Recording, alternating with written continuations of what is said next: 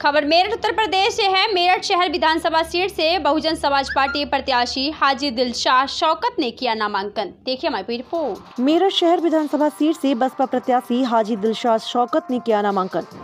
मेरठ चुनावी संग्राम से उतरते हुए शहर विधानसभा सीट से बसपा प्रत्याशी हाजी दिलशाद शौकत ने आज अपने समर्थकों के साथ अपना नामांकन पत्र दाखिल कर दिया।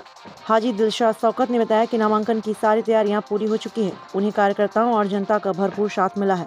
गौरतलब है कि बसपा सुप्रीमो बहन कुमारी मायावती ने हाजी दिलशाद शौकत को शहर विधानसभा सीट से बसपा प्रत्याशी घोषित किया। हाजी दिलशाद शौकत अपना नामांकन पत्र दाखिल करने मेरठ कलेक्ट्रेट पहुँचे। बताते चलें कि अपनी साफ़ छवि के चलते बसपा प्रत्याशी हाजी दिलशाद शौकत इस चुनाव में जहाँ विरोधियों को कड़ी टक्कर देने का काम करेंगे, वहीं चुनावी समीकरण बदलने का कयास भी लगाया जा रहा है।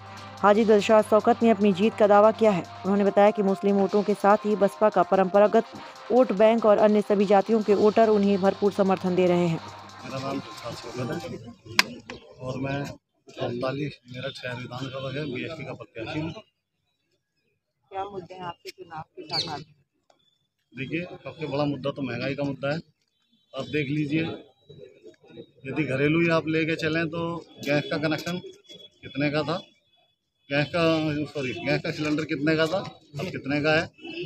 और जो मान्य, जो हमारा बुनकर समाज है, उन पर पहले फिक्स रेट था, तीन सौ रुपये लगभग, अब उन पर पंद्रह पंद्रह सौ रुपये का मशीन का मिला रहा है।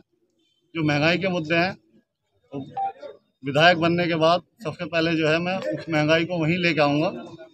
मुझे कितना भी प्रयास करना पड़े, जहाँ से महँगाई शुरू हुई है, उसे वापस वहीं लाने का प्रयास करना लोकल मुद्दे क्या रहेंगे? क्या लगता है क्या नहीं हुआ आपकी सीट पे काम? जो विधायक है मौजूदा आप क्या अब देख लीजिए जो पूरी शहर के जो है रोड क्या हालत है रोडों की? सब टूटे हुए हैं। अब नाले के अंदर एक बार आप जमा जाके सर्वे कीजिए। नालों के अंदर पूरा जो है उबाल आया हुआ है। विकास देख लीजिए आप कितना किया है। कोई विकास नहीं हुआ सिर्फ़ कागजों में विकास है ज़मीन पर कोई विकास नहीं हुआ। दिशा जिस तरीके से लोकल मुद्दे हैं आपके है है देखिए हम जैसे कैंची उद्योग है उसमें भी जो है कार्य करेंगे और एक्सपोर्ट के लिए भी जो हम बड़े बड़े इंडस्ट्री लगवाएँगे जिससे कि आम आदमी को कारोबार मिल सके।